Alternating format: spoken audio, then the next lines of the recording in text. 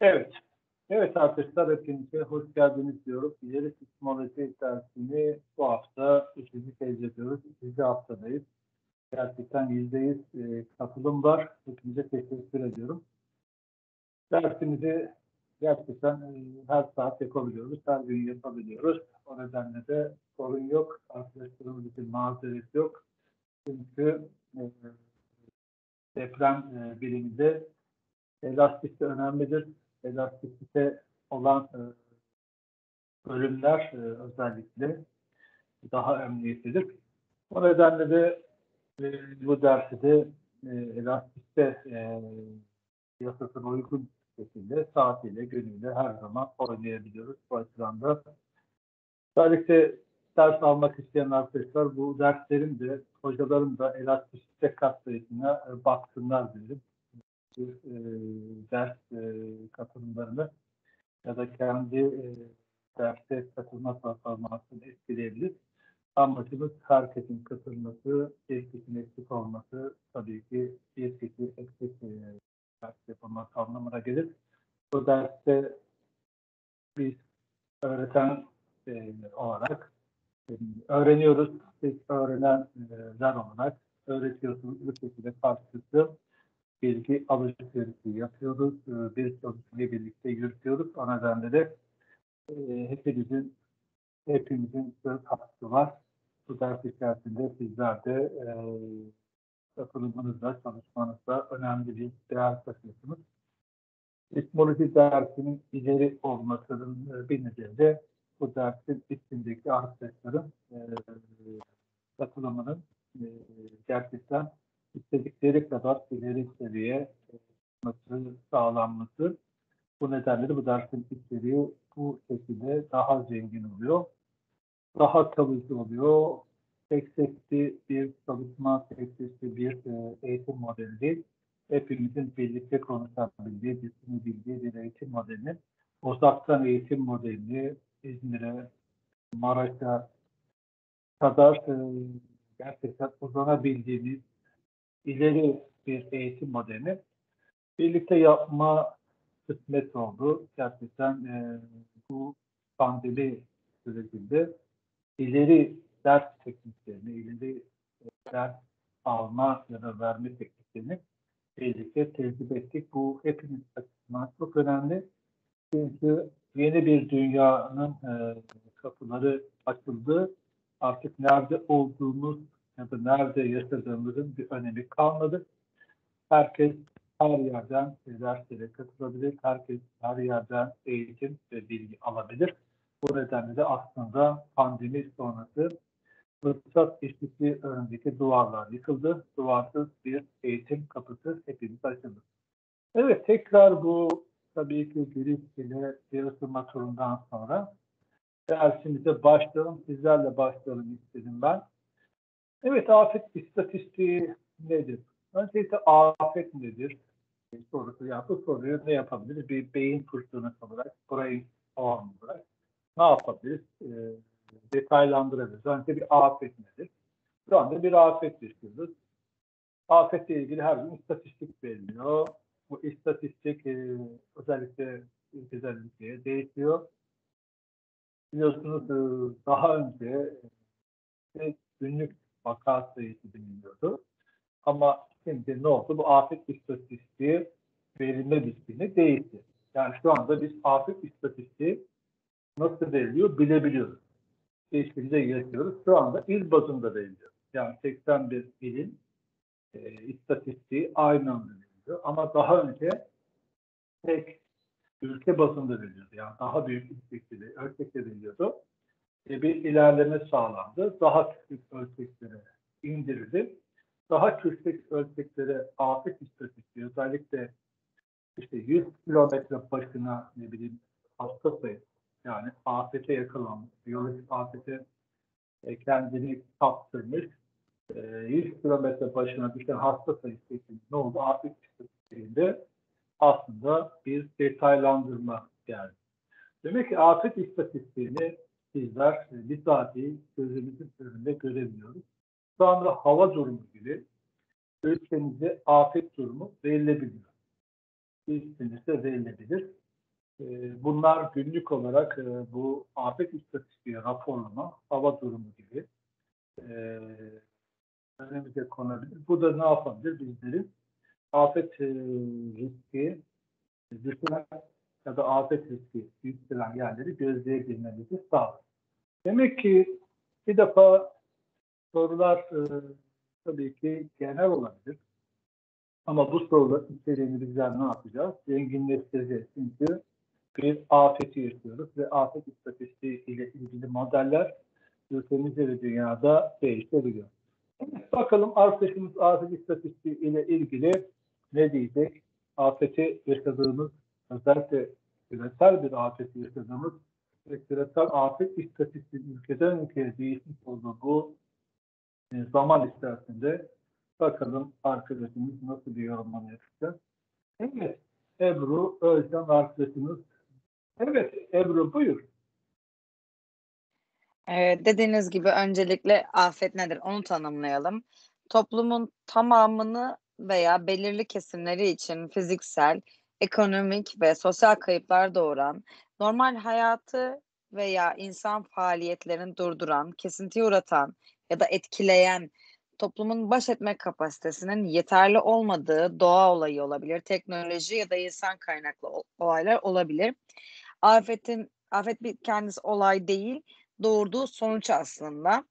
Yani yağmur yağabilir ama yağmurun e, meydana getirdiği sel bir afettir.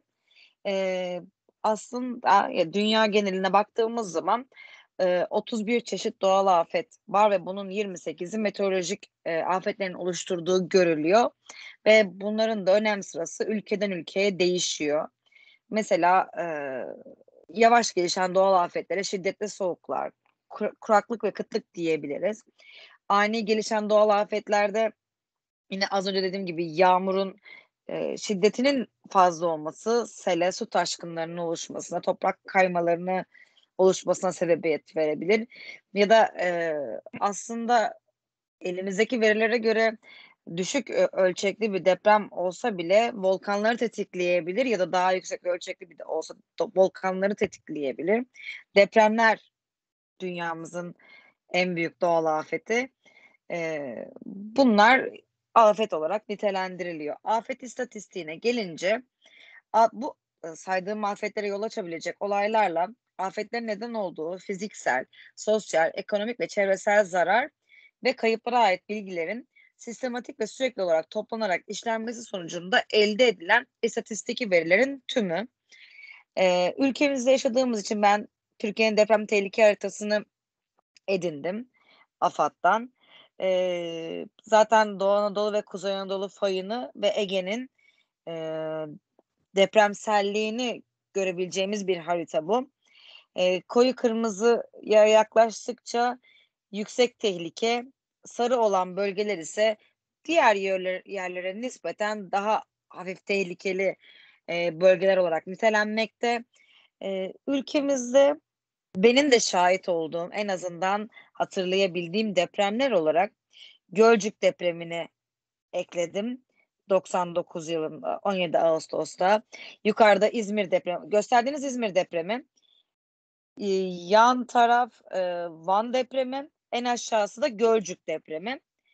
E, buradan afet istatistiğinden elde edilebilecek sonuç olarak da mesela İzmir depremi yakın geçmişte e, magnetüt büyük moment büyüklüğü 6.9 e, buradaki istatistiksel veriye baktığımız zaman 119 kişinin hayatını kaybettiği ve 1053 kişinin yaralı olarak e, hayatına devam ettiğini öğrendik. E, burada 8 e, şiddet ölçeğine göre 8 şiddetli bir e, deprem ve yıkıcı bir etkisi var. Tsunami yani Ege Denizi'ne meydana geldiği için tsunami oluşturabilecek bir deprem ve bu yüzden de afet istatistiğinde çok önemli bir yeri var. Onun haricinde e, kayıtlara en ölümcül deprem olarak geçmiş. Çünkü sadece Ege bölgesinde Yunanistan'ı da aynı şekilde etkilediği için Yunanistan'da da kayıplara sebep olduğu için e, sismoloji açıdan önemli bir deprem. E, yine e, Yani İzmir'deki depremin e, büyüklüğüne yakın bir ölçekte Van depremi var. 7.2 büyüklüğünde de o da e, 2011 tarihi 23 Ekim 2011 tarihinde 25 saniye sürmüş ve bunun da e, şiddet ölçeğine göre ölçeği 9 şiddetinde yani bayağı yıkıcı bir etkiye sahip. E, burada da 604 vatandaşımız mesela hayatını kaybetmiş. 99 depremi zaten hayatımıza sesimi duyan var mı olarak gecenin üçünde hayatımıza giren çok acı bir kaybımız. Ee, burada deprem odak derinliği 15 yaklaşık 15 kilometre olmasına rağmen sağ atımlı 120 kilometrelik bir fay hareketi meydana gelmiş ve o anki ülkenin e, yeterliliği bizim bilgili, bilgilen bilgilenme doğrultumuz açısından büyük kayıp verdiğimiz ve 10 şiddet şiddet ölçeğine göre 10 şiddetinde olan acı kaybımızın olduğu bir deprem. Yani ben afet istatistiğini bu kadar diyebilirim. Teşekkür ederim. Evet. Evet. Yani dediğin çok doğru. Afet istatistiğinde şiddet 10'a kadar çıkabiliyor. Şiddet e, 5'e kadar inebiliyor. Aslında afet istatistiğinde 5 şiddetinde, 6 şiddetinde, 7 şiddetinde, 8 şiddetinde, 9 şiddetinde, 10 şiddetinde depremi hisseden binalar İzmir'de de var. Dediğin gibi Van'da da var. Dediğin gibi tabii ki e, İzmit depreminde de var. Tabii ki bu istatistik olarak ne yapılabilir? İşte depremi toplam bina sayısı nedir? İzmit'te, İzmir'de ya da e, Van'da toplam bina sayısının yüzde kaçı 5 sitesinde, yüzde kaçı 6 sitesinde, yüzde kaçı 7 sitesinde, yüzde kaçı 8 sitesinde. Tabii biz en kötüyü gösteriyoruz. En kötüyü gösteriyoruz. Ama tamamında bu manzarayı görmüyoruz. Aslında bu bize e, en kötüyü gösteriyor.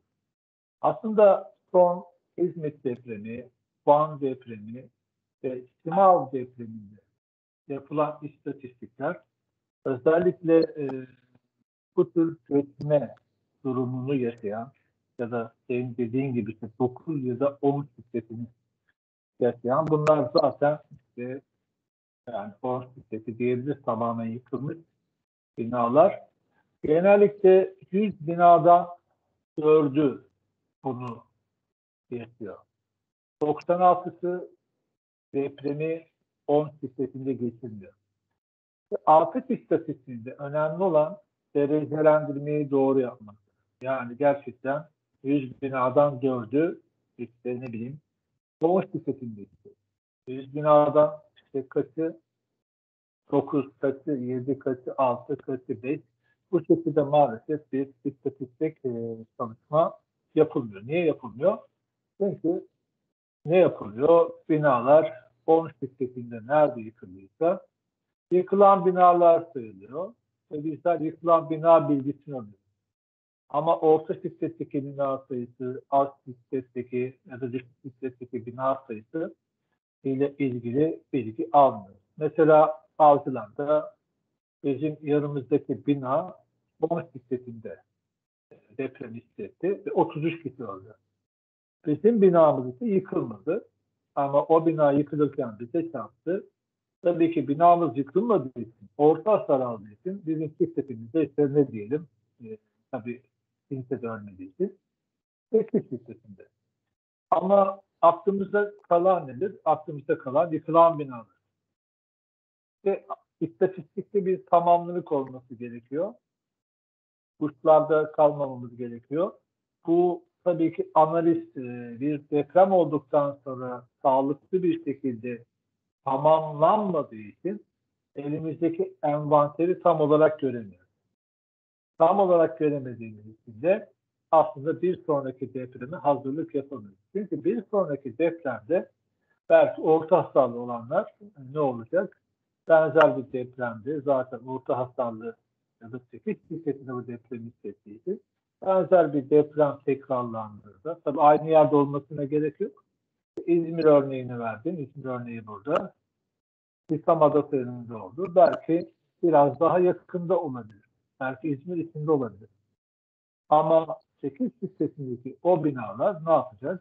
10 listesinde e, bir sonraki depremi hissetmeye aday e, olarak e, belki aynı manzara ile yıkılacak.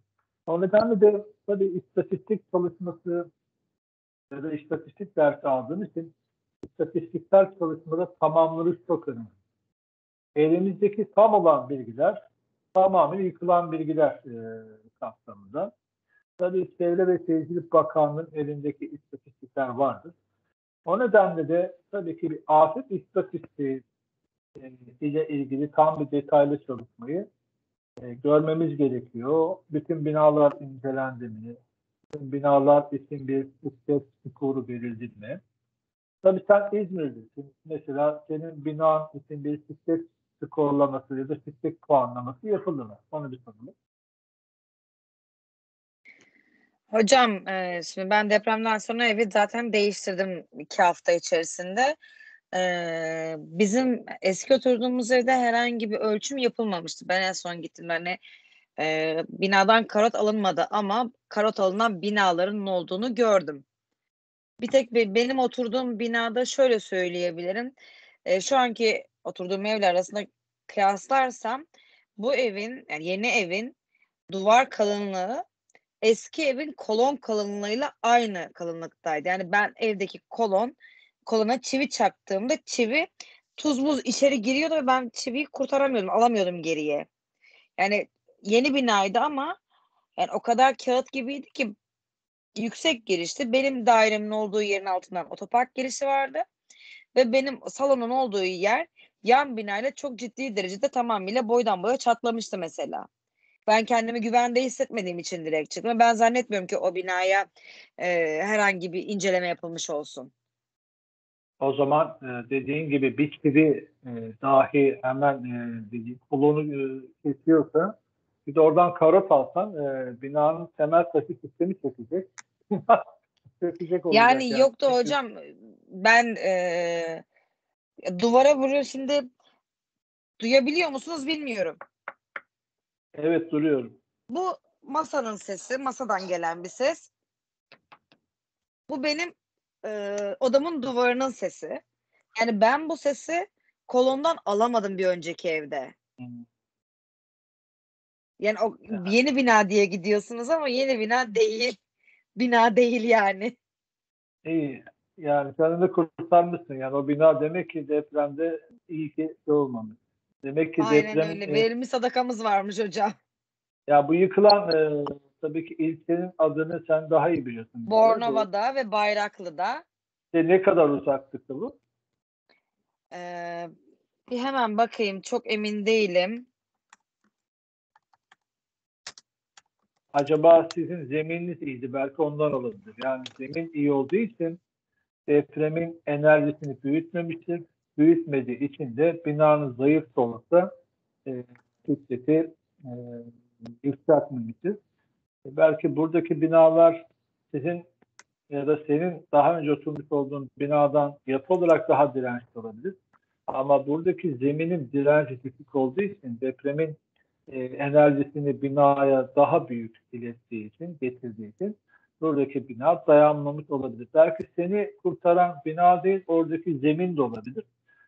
Ya evet de... zemin yüksek bir zemin hani e, yeşil evet. tepelerinde oturuyordum ben. Mesela evet. Bayraklı'da yıkılan evler bana bir 10 kilometre uzaklıkta. Aynı şekilde evet. Bornova'da yıkılan ev de bana yaklaşık bir 10 kilometre uzaklıkta. Evet. E, işin garibi o Bornova'daki evlerden daha önce İzmir'e ilk taşındığımız zamanlarda o civarın bir sokak arkasında oturuyordum ben. Yani o yıkılan evin ben her gün önünden geçiyordum. Ee, hmm. Haberlerde şey çıkmıştı. Ee, binanın girişindeki kafeden dolayı kolonlar kesilmişti. Kafenin varlığını hatırlıyorum ama kolonların olup olmadığını hatırlamıyorum mesela. Evet. Yani. Ama orada kafenin varlığından eminim çünkü o kafeye de gittim. Evin yakını diye. Ve oradaki yani, binalar eski bina. Hani yeni bina da değil. Hani ben yıkılacağını düşünmezdim yani. Ama işte evet. giriş katındaki sen e, kolonu kesersen istersen e, oraya dünyanın demir betonunu dök, demirini koy ama yani giriş katındaki kolonu kesiyorsun sen tutmaz. Evet. Ben şeyden da- çok Evet. korktum. Ee, çok incelemedim, çok emin değilim. Ee, bu her iki noktanın tam ortasında İzmir Adliyesi'nin orada Folkat binaları var. 52 55 katlı. Hmm. Orası felaket sallanmıştır ki eminim çünkü 55 katlı ve orası bize söylenene göre balçık zemindi. Ve mesela orayı çok kısa sürede zeminini bitirdiler. Çok kısa sürede e, büyük tabii emek vardır. O başka ama çok kısa sürede bitirdikleri için ben de mesela hiç güven oluşturmamıştı. Evet. Evet. Demek ki Şimdiki- teknoloji kullanmışlar. Teknoloji kullanmışlar. İzolatör Aynen. belki kullanmışlardı. Belki izolatör kullanmışlar. İzolatör. Ya şimdi şey e, 55 katlı olduğu için muhtemelen temelinde hani bu hareketli temel, raylı temeller var ya onlardan kullanmışlardır. Yine bir şey olmaz ama benim şu anki oturduğum ev 8 katlı. Ee, İzmir fayı bana çok çok yakın. Ee, Evet. hatta belki biliyorsunuzdur tarihi asansör var. İzmir fayının dibinde. Hmm. yani Fay asansör. yükselmiş. Evet, Tarihi asansör mü? Evet evet tarihi asansör. İzmir tarihi asansör.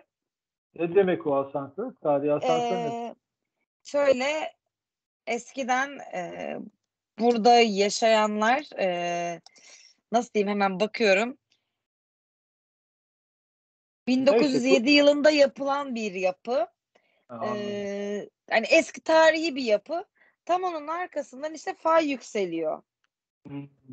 Aralarında bir 58 metre gibi bir yükseklik varmış. ee, Evet. Hatırladığım kadarıyla.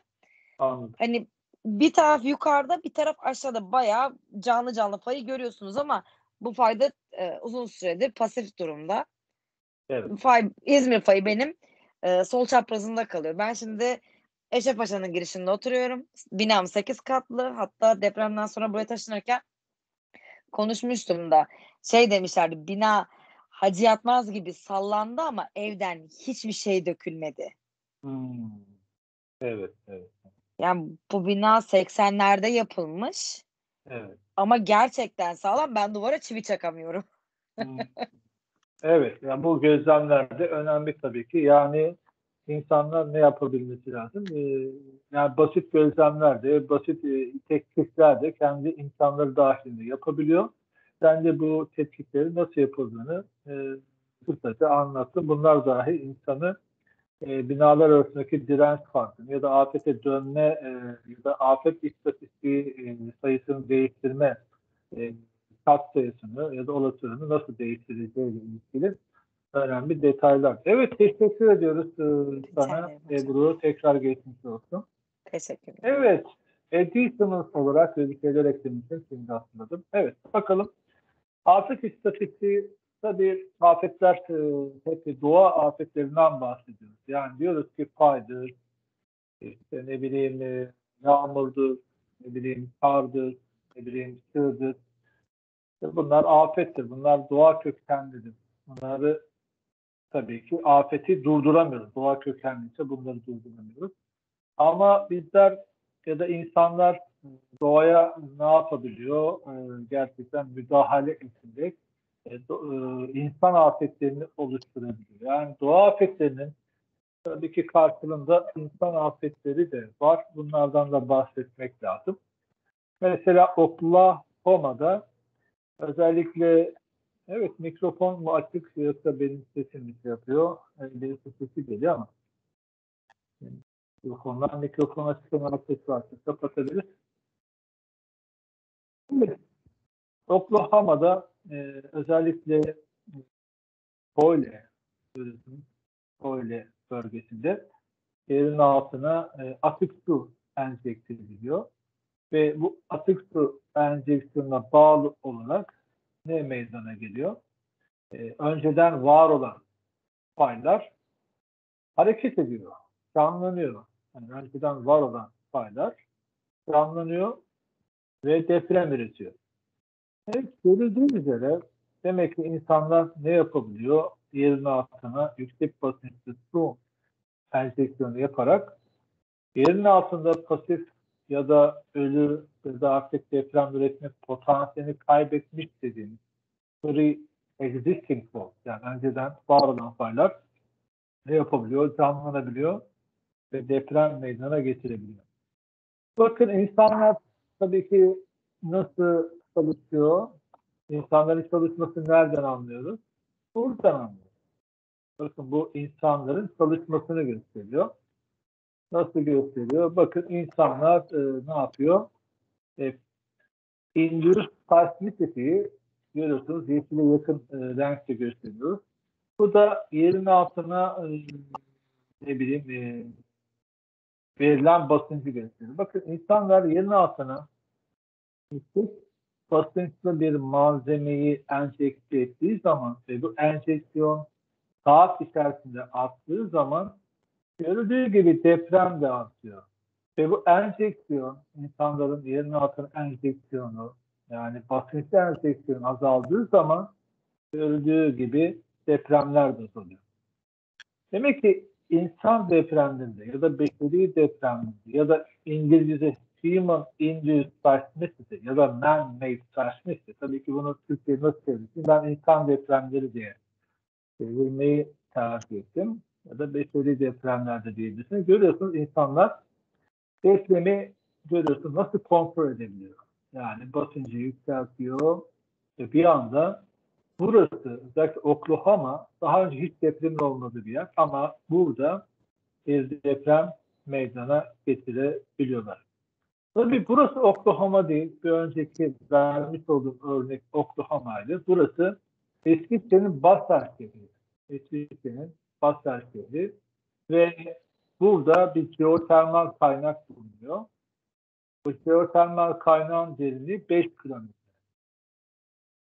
Evet, e, biraz görüntü ya da notlarımı görmek için bu şekilde yapıyorum. Evet, İsviçre'deki Basar şehrindeki jeotermal endüstrinin enerji üretimi ile deprem üretim arasındaki birebir korelasyonu ne yapıyoruz? Buradan görebiliyoruz. Yani işte jeotermal bulundu. Tabii ki jeofizik mühendisleri jeotermal kaynakların araştırılmasında önemli katkılar sağlıyoruz. Onların bulunmasını istiyoruz. Jeotermal kaynakların en e, büyük potansiyelde olduğu Avrupa içerisindeki ülkelerin başında ülkemiz ve Türkiye geliyor.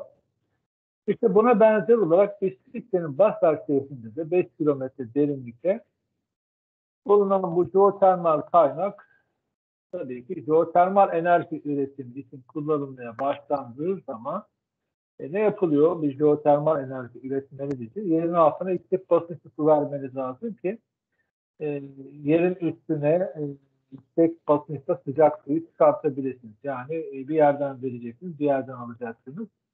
E, bu şekilde de e, enerji üretebileceksiniz. Evet bu ne olmuş? E, ortaya bir çevre zararı çıkmış. Bu, bu, bu çevre zararı e, neredeyse e, yapılan e, ihbarlar ve şikayetler sonucunda 9 milyon doları aşmış. 9 milyon doları aşmış. Ve sonunda da e, bu jeotermal e, enerji e, merkezi ya da şirketi ya da buradaki jeotermal üretimin durdurulması kararı alınmış.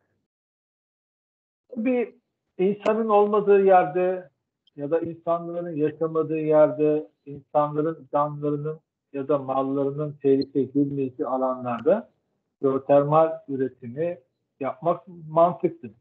Ama bir şehirlenme tamamlanmış ve sizler de o şehrin merkezinde Basel'de görüldüğü gibi jeotermal kaynakları biz bulduk. Enerji üreteceğiz. Ne bileyim işte ne bileyim e, para kazanacağız. Ülkemize vergi vereceğiz dediğimiz zaman e, bir yandan kazanç e, tabii ki getiren bir çalışma yapılırken bir yandan da gerçekten tahribatlar, yıkımlar ve afetler ki bu afetler e, az önce bahsetmiş olduğum gibi 9 milyon doları aşan bir afet ve zarara neden olduğu için e, insanlar e, burada yaşayamadığı için insanlar burada gerçekten can ve mal güvenliklerini garanti altında göremediği için sonuçta e, tabii ki önce insanın canı ve malı gelir. O nedenle de bu tesis kapatılmış. Baktığımız zaman nasıl bir çalışma var? Bakın burası neyi gösteriyor? Burası zamanı gösteriyor. Gün içerisinde zamanı gösteriyor. Ve bu da görüldüğü üzere e, diffusion dediğimiz e, yerin altına verilen enjekte edilen e, suyun, atık suyun e, yükselmesine bağlı olarak yüksek ekstremde average square distance şiddeti gösteriyor. Average square distance şiddeti gösteriyor. Evet bu şekilde ilgili detayı tam anlayamadım ama buradaki detaya baktığımız zaman insanlar ne yapabiliyor? Bir yerdeki e, kurmuş oldukları, açmış oldukları endüstri diye e, endüstriyel e, enerji üretiminde e, ne yapabiliyorlar? E, endüstri depremlerine çevirebiliyorlar. Bu nedenle de bu tür e, afetler de e, insanların başına dert bulabiliyor. Baktığımız zaman tabii Batı Anadolu özellikle jeotermal potansiyeli Avrupa'da bir numara. Aynı zamanda da deprem potansiyeli Avrupa'da bir numara. Bakın Batı Anadolu. Tabii buradaki depremler özellikle birbirleriyle karıştırılıyor. E, burada çok sayıda e, jeotermal e, endüstrisi açıldı. Jeotermal enerji endüstrisi açıldı.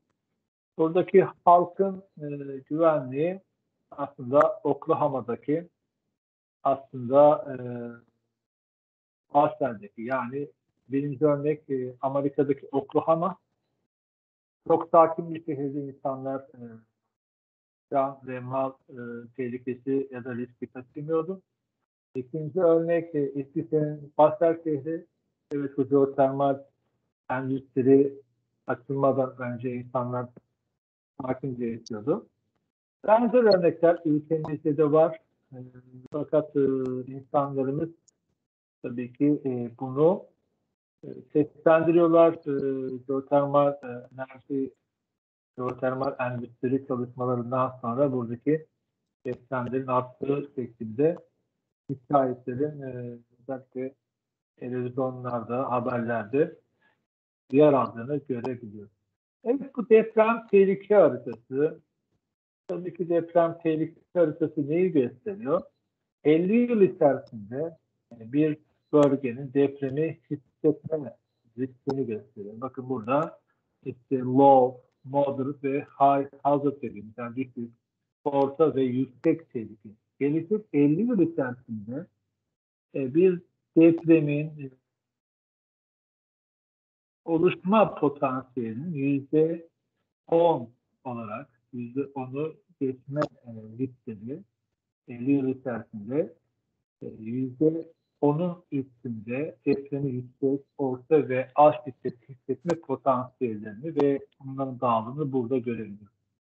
Görüldüğü üzere özellikle Maraş'ın, arkadaşımız Maraş'tan tabii ki katılıyor. Burası da herhalde Türkoğlu ettiği, burası Triple Maraş Dansı'nın, Maraş Üstü Bileşimi. Görüyorsunuz burada 50 yıl içerisindeki beklenen e, olasılık oldukça yüksek. Buna benzer tabii ki yüksek olması şu demek. Buradaki e, afet istatistiği yani afetin e, özellikle ölü sayısı ya da ne bileyim yıkılan bina sayısı ya da afetin neden olacağı zarar e, kayıplarının çok yüksek olduğunu tahmin etmek burada güç değil.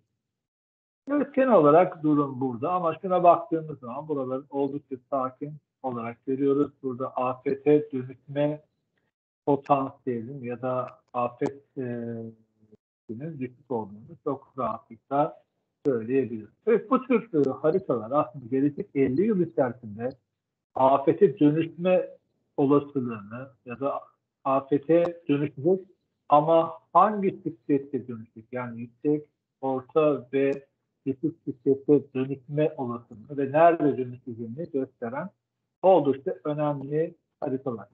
Aslında depremlerin ne zaman olacağını bilmemize gerek yok ama gelecek 50 yıl içerisinde olabilecek herhangi bir depremin neden olabileceği afet durumunu ne yapabiliyoruz? Önceden tahmin edebiliyoruz. Zaten e, tüm çalışmalar ya da şehirdeki e, güçlendirmeler ya da şehirdeki e, bilim imar planlamaları bu verilere göre yapılsa zaten kayıp olmaz. Tabii arkadaşımız İzmir'den bahsetti. Ben tabii ki 2012-14 yıllar arası o da başkan olduğum için İstanbul'da yüksek yapılaşma yönetmeliği yoktu. Türkiye'de yüksek yapılaşma yönetmeliği olduğu tek şehir İzmir. İlginç bir not yani Türkiye'de yüksek yapılaşma yönetmeliği o yıllar arasında o yıllarda kapı kapı belediye kapısında işte ne bileyim mecliste, bakanlıklarda e, kapı kapı dolaşan bir insan olarak işini gücünü bırakıp ailesinden e, almış ayıracağı zamanı bu tür işlere harcayan bir insan olarak e, o zaman İstanbul ki büyük deprem tehlikesi olan bir yerde yüksek yapılaşma yönetmeliği yoktu. Hala var mı bilemiyorum ama o zamanki e, tarihlerde Türkiye'de tek yüksek yapılaşma yönetmeliği olan şehir İzmir'di. Arkadaşımız az önce 55 katlı binanın aslında e, hasar görmediğini söyledi. Çünkü o bina yüksek yapılaşma yönetmeliğine göre doğru yapıldığını e, ne yapıyor? E, bu deprem sonrasında hasar almaması ya da afete dönüşmesi gösteriyor. Evet baktığımız zaman makaleler önemli. Özellikle insan depremleri, insan afetleri önemli. Bakın burada neden bahsediyorum? Makaleleri okumanızı tavsiye ederim. Discriminating. Discriminating demek, diskriminasyon demek, ya ayrım demek, öyle değil mi? Yani e, diskriminasyon ya da ayrım aslında yani insanlar arası en büyüktür. Fakat buradaki ayrım önemli. Hayat kurtaran bir ayrım. Neyi ayırıyoruz? Doğa e, doğa kökenli depremlerle antropojenik dediğimiz işte insan kökenli depremleri ayırmak aslında çok önemli katkılar sağlıyor.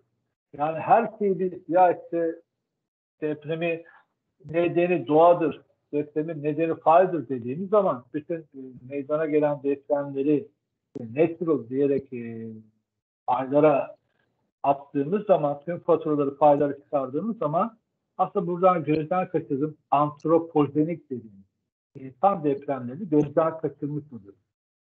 İnsan depremleri çok önemli. Bakın bu örnek nereden değerlendirilir? İtalya'dan değerlendirilir. 2012 yılında İtalya'da bir deprem fırtınası meydana geliyor. Ülkemizde deprem fırtınası geliyor ya, seismic stimulus dediğimiz ard ardına depremler geliyor.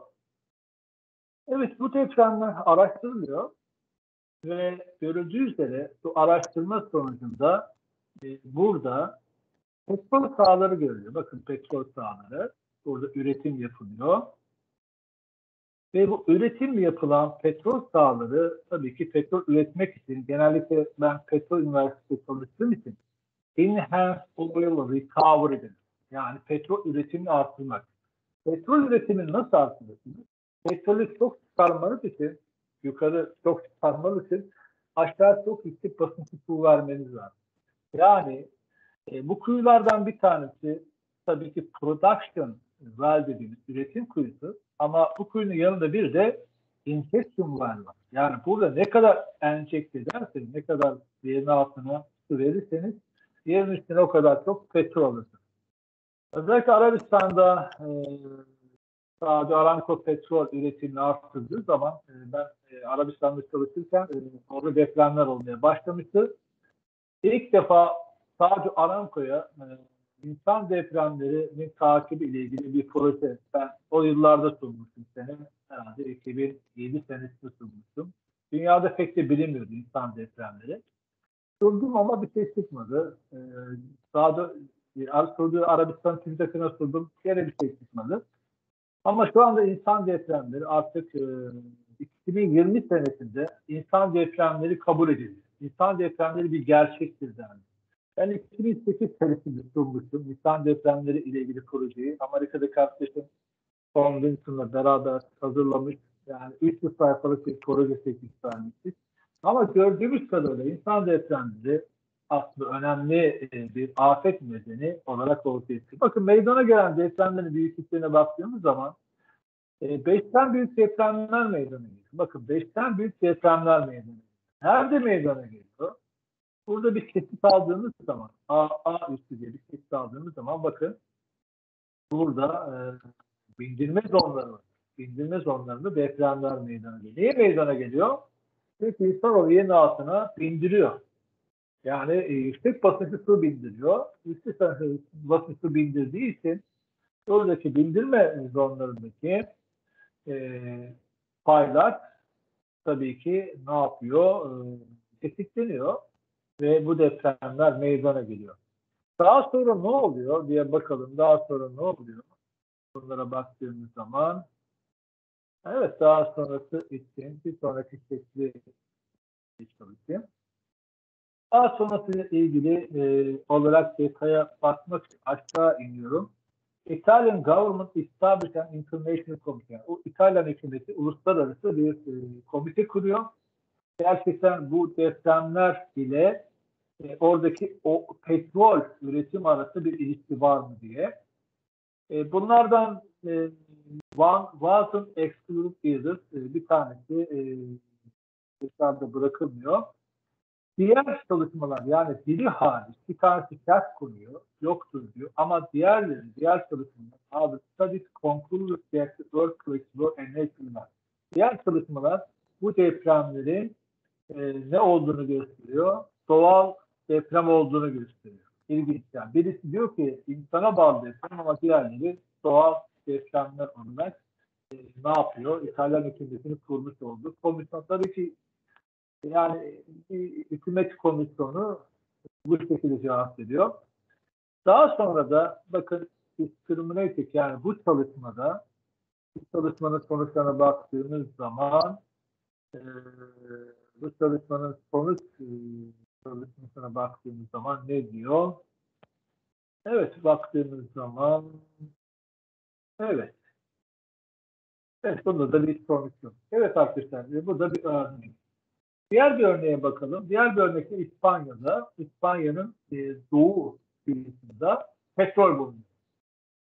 E, şey, e, petrol bulunmuyor. Orada e, doğal gazı enjekte edecek e, bir alan açıyorlar. Tabii ki Avrupa ne yapıyor? Doğal gazı işte, e, Türkiye üzerinden satın alıyor değil mi? Artık üzerinden alıyor. Almış olduğu bu gazı ne yapması lazım? E, yerin altına e, ne bileyim e, depolaması lazım. İstanbul'da da Silivri'de bu depolama yapılıyor. Ve sonra ne oluyor? Sonra ilginç olan çalışmalar, bakın yani tabii ki bu ekran biraz küçük.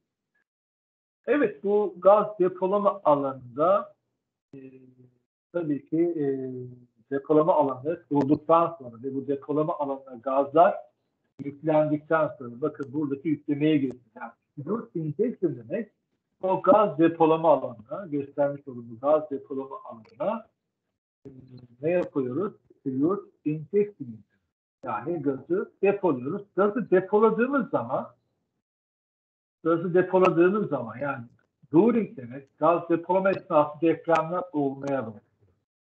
Depolamadan sonra depremler durmuyor ve olmaya devam ediyor. E sonra ne oluyor arkadaşlar? E sonra 2 milyar dolarlık bu proje İspanyol hükümeti tarafından e, ortaya çıkan e, bölgedeki bu deprem patlaması, bu bölgesel deprem patlaması nedeniyle sonlandırılıyor. Ve bu da insan afetlerine ilişkin önemli bir örnek. Buradaki örnek de yine o makaleden alınıyor. Özellikle makaleleri okumanızı öneririm. Bunlar e, Nature dergisinde yani dünyanın en prestijli bir numaralı dergisini çıkan yayınlar. Nature dergisindeki e, çalışmalar e, en prestijli çalışmalardır. Ve burada ne görüyoruz? Burada görmüş olduğunuz şey bakın.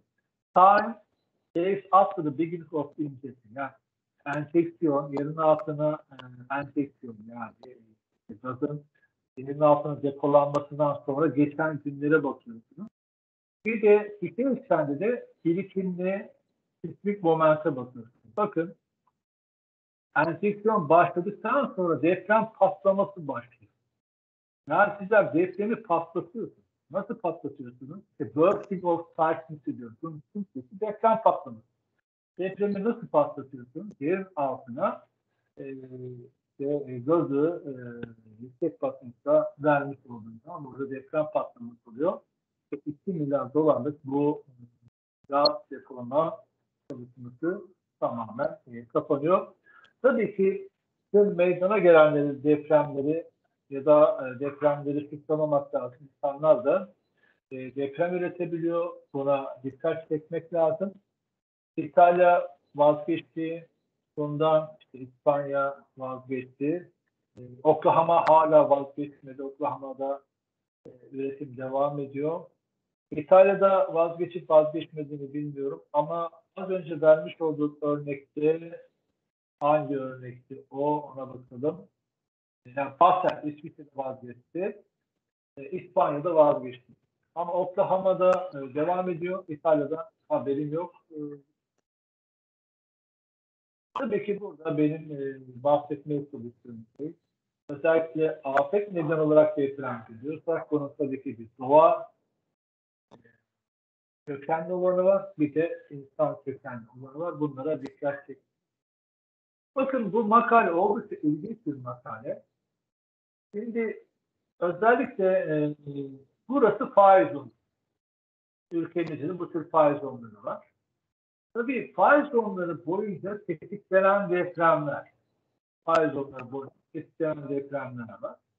Ne yapıyor? Bu faiz zonları boyuncaki tetiklenen depremler, enjeksiyondan sonra, bakın burada ne diyor? Ee, enjeksiyondan sonra tetiklenen depremler meydana geliyor. Bir de enjeksiyona bağlı olarak depremler meydana Çünkü tetiklenen depremlerin merkezi olarak neyi gösteriyor? Bir defa tetiklenmesi için bir depremi yani bir enjeksiyon yapmış olduğumuz bir alanda tetiklenen deprem olması için orada bir klik zon olması. Bakın bu klik zonları enjeksiyondan sonra harekete geçiyor. Ve bu gerçekten e, bir tektonik deprem midir diye ne yapıyorlar? İstatistik yapıyorlar. Bir de bu faiz onların dışında kalan, bakın hiçbir fayla, sürükle ilgisi olmayan ki bunlara da ne deniyor? Fluid event yani e, enjeksiyon depremleri yani insan depremlerinde bazı istatistiğini yatırmak. Görüldüğü üzere istatistik çalışmasında tabii ki istatistikler sistematik dersi almanızın faydası B değeri 2 yaklaşıyor. Tetiklenen depremlerdeki e, B değeri 1'e yaklaşıyor. Yani zaten bir e, ne demektir? Bir tektonik depremi e, büyüklüğü zaten 1'e yaklaşır. Ama görüldüğü üzere insan depremlerinin e, ortalama marifetle ya da e, yerin altındaki birikten gerilme ile ilgili insan kökenli ortaya çıkan e, gerilmeye bağlı depremlerde, Afrika depremlerinde görüldüğü üzere B değeri yani bu ilginin tuz blokun yatay eksen büyüklük, deprem büyüklüğü eksen görüldüğü frekans ikiye doğru yaklaşıyor. Görüldüğü üzere enfeksiyon depremlerinin gelişi, zaman içerisinde gelişini görüyorsunuz. Gerçekten bir süreklilik.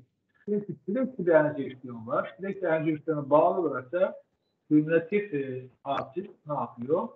E, bu şekilde devam ediyor. Ama burada görüldüğü üzere gelinle özellikle bu üzerindeki gelinle e, sıkı sıkı artıyor. Birden büyük bir depremle yapıyor. Büyük depremlerle birden aşağı çıkıyor. Ve bu şekilde bir tektonik depremde gözlemiş olduğumuz zaman ve e, frekans dağılımını ne yapabiliyoruz? Çok güzel şekilde görüyoruz. Yani buna benzer şekilde bunlar tabii az önce dediğim gibi eşit değerlisindeki discrimination yani insan kökenleri, doğa kökenli depremlerin ayrılmasında kullanılan yöntemlere ilişkin yöntemler. Bu şekilde de belki buradan bir fikir. Almış olduğunuz bu fikirde bulunmuş olduğunuz bölgelerde mesela insanlar gerçekten doğaya müdahale ediyorsa, yerin altına yüksek enfeksiyonla sürdürüyorsa, yerin altına yüksek e, ne bileyim, basınçla petrol çıkarmak için, üretim arttırmak için yapmanız gereken aslında çalışmaya ya da çalışmalara örnek e, sarf ettirecek model çalışmalar. Evet, ülkemiz e, özellikle ülkenin Batı Anadolu'sunda termal endüstrinin başlamış olduğu yıldan itibaren yani bu çalışmayı özellikle İzmir'de e, Batı Anadolu'da e, yaşayan arkadaşımız e, özellikle bu hidrotermal endüstrinin gelişimini ya da kuruluşunu ya onların ve kuruluşundan sonraki buradaki deprem aktiviteleri elektronik ya da gerçekten enjeksiyon olan bir makine rahatlıkla kullanabilir bir çalışma yapabilir. Evet, bir sonraki sunum için Medine'yi çağırdı. Buyurun Medine.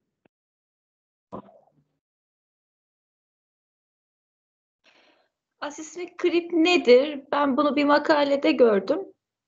Merak ettim, makaleyi de inceledim. E, şöyle bir e, yorumdan bahsediyor orada. E, karelaj yöntemiyle tanımlanan her bir e, birim alanın içerisinde düşen hız alan vektörlerinin ortalama değeri kendilerinden çıkartılmış ve geriye kalan artık hareket miktarı birim alandaki asismik hareket miktarı olarak tanımlanabiliyormuş. E, o makalede bu grafikte Doğu Anadolu fay zonunda e, üstteki A denen depremsellik yani o e, gri yuvarlaklar e, depremleri olmuş depremleri ifade ediyor. E, burada kırmızı olanlar da yeni fayları ifade ediyor. Alttaki B e, GNSS hız alanı. GNSS de şu demek küresel uydu seyir sefer sistemi yani küresel uydu belirleme sistemiyle yapıldığını gösteriyor. Burada da e, oklar kayma e, hızını ve kayma yönünü belirtiyor. Yine kırmızılar da yeni fayları ifade ediyor. Burada bir krip olayından da bahsedeceğim. Bir sonraki slaytımıza da geçelim. Orada da yorum yapalım. E, bölgede gözlenen e, düşük depremsellik yamulmadan ziyade fay yüzeyinde asismik bir kaymanın meydana geldiğini işaret etmektedir ve bu olayda krip olarak ifade edilir. Yukarıda baktığımızda e, depremsellikten kaynaklanan bir kayma hızı A diyerek ifade edilen baktığımızda ondan kaynaklanan bir kayma hızı milimetre yılda ifade ederken e, B'de de GNSS'te kayma hızlarını belirten alanları ifade ediyor burada renklerle kayma hızına e, belirten alanları ifade ediyor. Burada GNSS ile belirtilen kayma hızlarından belirlenen kısım asismik kayma olarak da e, ifade ediliyor. Bir sonraki slaytımıza geçtiğimizde bunların grafiksel olarak kıyaslaması var hız e, milimetre yılda. İlk ilk grafiğimize baktığımızda e, fay, faylardan kaynaklı, depremlerden kaynaklı olduğunda 5.6'ya e, geliyor kayma milimetre, yılda milimetre olarak 5.6 milimetre yıl olarak ifade ederken e, GNSS'e göre de bu 12.4 milimetre yıla e, ifa e, denk gelmektedir. E, bu kayma miktarları e, bunu ifade etmektedir. Bir sonraki slaytımıza geldiğimizde de kaynakları ifade etmektedir. Teşekkür ederim. Sorularınız evet, varsa olabilir. Gerçekten e, güzel bir soru. Tabii asismik krip adı üstünde yani İsmet Paşa değil mi?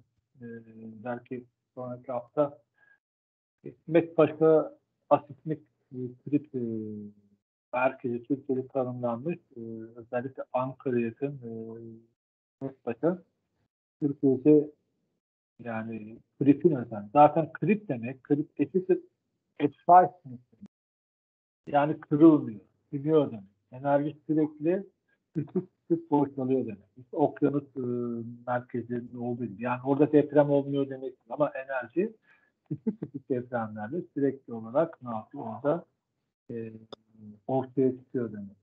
Bu nedenle de aslında büyük bir depremin olmadığı yerler ya da büyük bir deprem beklenmediği yerlere biz asismik trip diyoruz. Genellikle deprem istatistiği açısından buradaki B değerleri özellikle birinci kısımda. Sismik e, bölgelerde işte ne bileyim benim üstüne dikiyor. Sismik e, olmayan asismik bölgelerde benim üstüne dikiyor. Bu nedenle de asismik e, kritik bölgeler aslında bir deprem ülkesinde depremi açığa çıkarmayacak alanların tespiti açısından da önemli. Çünkü tabii ki depremi beklediğimiz yerler önemli ama depremi beklemediğimiz yerler de önemli. Her yerde yani her gördüğümüz fayda işte ne bileyim ayın üstünde şehirler projesi var. Şimdi her fay işte büyük deprem üretecek diye bir şey yok. Yani fay olur ama o fayın e, tabii ki e, her tarafı gerçekten büyük bir deprem açığa çıkaracak bir e, ne e, yapıya sahip olmayabilir.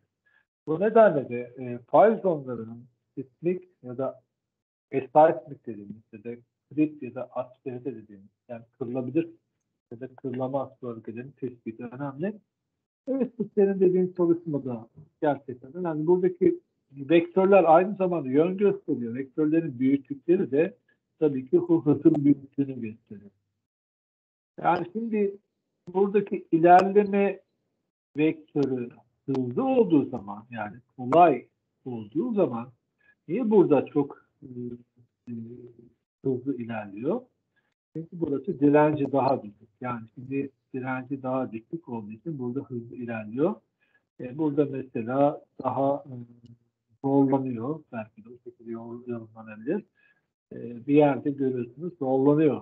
Bir yerde işte zorlanmıyor. Zorlanmadığı yerde bizler ne yapıyoruz? Bu e, menfa vektörlerini ya da bu plaka vektörlerini daha büyük görüyoruz. Aslında normalde tabii ki hızlı da olabilir. Yani baktığımız zaman Nazca levhasına baktığımız zaman Nazca levhası e, tabii ki hızlı da yapabilir. Ama tabii bu kıyaslama yaptığımız zaman yani hızlı, yavaşken tabii Japonya'da niye sürekli deprem oluyor? Çünkü Japonya'daki ne bileyim Filipin levhası bugün bir deprem oldu 7.2 büyüklüğünde. Filipin levhası var, Pasifik levhası var. Onlar e, hızlı ilerlediği için hızlı ilerlediği enerji birikimi de gerçekten hızlı olduğu için orada deprem meydana geliyor. Tabii bu levha e, GPS hız vektörleriyle e, tabii ki depremleri korele ettiğimiz zaman e, görüldüğü üzere nasıl bir korelasyon çıkabilir? Tabii ki bu GPS vektörlerin hesaplanması ne kadar hassastır bunu bilemiyoruz. Yani kaç istasyonda bunlar hesaplanmıştır. Benim alanım da olmadığı için bunun üzerine pek fazla yorum yapmayı tercih etmem. Ama baktığım zaman evet burada ilginç olan şey şurada mesela depremler var. E, kırık yok. Sanki az önce bahsetmiş olduğum acaba bunlar şey mi? Enjeksiyon bağlı depremler. Bakın yani deprem var kırık yok. İlginç olan şey. Hadi bunu anlayabiliyoruz. Yani kırık boyunca depremler var.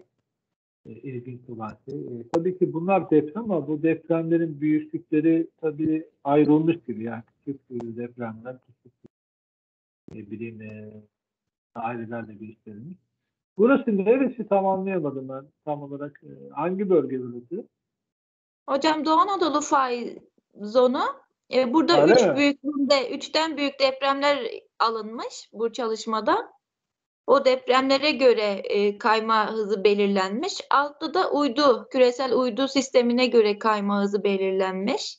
Onlar Doğru. kıyaslandı. Anladım. Doğu Anadolu'ya. Yok tam olarak. yani şey olarak e, evet e, şeyi çıkartamadım. Biraz şey yapmışlar. Evet, anladım. Doğu Anadolu küçük ölçekli olduğu için şurası 36, 40 yani 5 kilometre. Evet, dediğim gibi. Evet birden şekilden çıkartalım. Evet bir sonraki slayta bakalım. Bu da kayma hızları bekliyor diyorsun. Bakalım faiz hızı burada. Faiz hızı burada. Faiz hızı. Kayma hızına bakalım. Kayma hızı. Burada kayma hızı küçük gözüküyor. gözüküyor. Evet. Yani şuraya baktığımda burada daha bir küçük fay yok. Fayın olmadığı yerde kayma hızı düşük oluyor. Yani kırmızılara bakalım. En yüksek kaymızı, en yüksek kaymızı şuralarda falan gözüküyor.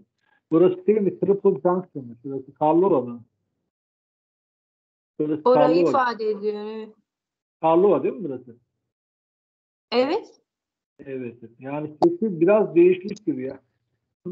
Sündürdün mü? Ne yaptın sen bu şekilde? Biraz e, normal şey gibi e, biraz şey yaptın? Alttakiler kilometre değil hocam. Boylama göre. Boylam.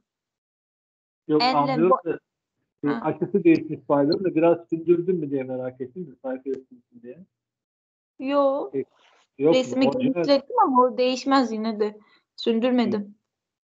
Evet şurası Karlova. Baktığımız zaman Karlova'da. Evet Karlova'ya bakıyoruz. Evet, şuradan bakıyoruz Karlova. Evet, buradan çok net gözüküyor ama burada renkler karıştı. Şurası Karlova. Baktığımız zaman şurada güçlü ses gözüküyor. Burada e, 700 segmenti buradaydı değil mi? Erzincan 700 segmenti. Öyle değil mi? Burada mı? Er, 700 Erzincan segmenti. Evet orası. Oranın Bu. yukarısılarda bir yer olabilir. Evet düşük gösteriyor. Sarılık Yani kısmı, turuncu gibi kısımlar e, Hazar tarafı gibi. Bingöl işte oralar. evet burada Turuncu, hızlı bir. Evet oralar. Yani hızlı bir deformasyon var. Şimdi tabii ki Zaten burada- kuzeybatıya Evet. doğru hızlı oldu. evet, E, evet. Güney Evet. kıs güneybatıya doğru hızlı, diğer e, güneyden gelen kısımda yavaşlama oldu. Bu sonuçlar onu ifade ediyor. Tabii şimdi biz tabii ki sismoloji açısından e, nasıl bakabiliriz? Yani kırık boyu ile e, bu hızları şey yapabiliriz. Kırık boyu uzadıkça beklenen deprem tehlikesi de büyüdüğü için bakalım şimdi bunların özellikle hızın büyük olduğu yerde kırık boylar oldukça küçük. Yani kırık boyunun küçük olması ne demek? Buradaki meydana gelen depremleri e, aslında küçük düzeyde küçük kırıklar meydana getirdiğini e, kırık uzunluğu ile burada meydana gelen depremler orantılı ise e, görüldüğü üzere buradaki hız yani aslında e, enerji çok hızlı e, birikip çok hızlı boşaldığını gösteriyor. Bir önceki sismik haritası aynı mıydı? Bakalım. Evet. Evet, evet biraz çok e, sismik var. Evet yorum yapmak Evet güzel bir çalışma. Ee, bu kimin çalışması diye baktığımız zaman bir sonraki makaleye bakıyoruz. Değil? Bakalım çalışma e, nedir? Kenarlarına da yazmıştım ama silinmiş herhalde. Fatih O- Bulut diye. Evet yılı yok galiba değil mi? Çalışmanın. Nerede yayınlandığı. Yani ismi var. e, Yani çalışma yapan ismi var. Çalışmanın ismi var. İsmi ve makalesi yok değil mi? Yılını e, yazmamış olabilirim ya da e, yoktu galiba. Genelde hangi- yazıyorum yıllarını da yazmamış da olabilirim hani o an. Ya da hangi dergide yayınlandı? Ya dergide yani iyi bir e, hangi dergide yayınlandı? Rapor mudur? E, makale midir? Makaleydi hocam. Evet. Evet. Anlamak biraz zor çünkü şey, oldukça gösterilmiş. Yani zorlandım ben. Yani bu bölgeyi bilen bir insan olarak. Burada ne diyor? Pay boyunca, boylan boyunca ne diyor? Hız değişimi. Hız değişimi, depremsellik. Değişim diyenesiz. Yani pay boyu hız değişimi, depremsellik. Evet e, biraz şey yani e, şekiller var ama e, yani Depremselliğe göre ilk grafikte 39. boylamda hız 5.6 olmuş. Kayma hızı. Ama altta e, küresel uydu sistemine göre 39. enlemden değil de 40.5. şey boylamdan 12.4 milimetre yıl kayma hızı olmuş. Hani Anladım. yukarıda depremlerde düşük görünüyor ama e, küresel uydu sistemine göre de 12.4 olarak görünüyor kayma hızı ama aynı Evet. boylamla değil. Farklı boylamlar. Şimdi tabii ki e, levhaların hızı iki şekilde hesaplanabiliyor. Bir depremlerin odak mekanizma çözümlerine göre hesaplanabiliyor. Bir de e, dediğin gibi küresel e, pozisyon sisteme göre hesaplanabiliyor. Buradaki depremsellik dediği buradaki meydana gelen depremin odak mekanizmasına göre hesaplanmış olan sonuçlarla e, ne bileyim e, GPS'ten hesaplanmış sonuçlar uyumlu olmadığını. Ama şurada bir benzerlik var ama e, buradaki mesela maksimum e, durumu e, ne yapıyoruz? GPS'ten göremiyoruz. Tabii ki GPS, e, deprem, e, yani bunu detayı bilemiyorum. Yani hangi depremler, bu depremin odak mekanizma çözümünün hassasiyeti nedir? Bilemiyorum. Yani bilemediğim için de e, bu çalışma üzerinden bir yorum yapmam da doğru olmaz. O nedenle de size ne diyorum ben? E, tabii ki e, çalışma önemlidir ama tabii ki çalışma bir e, hakemli dergide e, review'den geçerse daha önemli. Çünkü fazla detay yok. Hesaplamıştır, hangi dergide yayınlanmıştır, ne zaman yayınlanmıştır. Fazla bir detay olmadığı için bir şey söyleyemeyeceğim. Evet arkadaşlar kaç dakikamız geçti? Benim saate göre Bayağı bir saat oldu herhalde hocam. Yok Bir buçuk ekranda saat. 38 dakika gözüküyor da yani ders 60 dakika yanlış mı acaba? 38 dakika gözüküyor ekranda. Ya, O- yanlış yani. Belki. Evet. Evet arkadaşlar o zaman dersimizi bitirelim. Elinize sağlık. PDF'ini gönderirim şimdi hocam WhatsApp'tan belki arkadaşım da inceler. Evet, bu- tabii iyi olur. İyi olur arkadaşlar. Ee, evet. O zaman ne yapıyoruz? Ha, 1 saat 14 dakika olmuş. Kusura bakmayın. Benim de daha fazla notum vardı ama haftaya. Devam edelim. Şu an yapmam gereken şey kaydı durdurmak.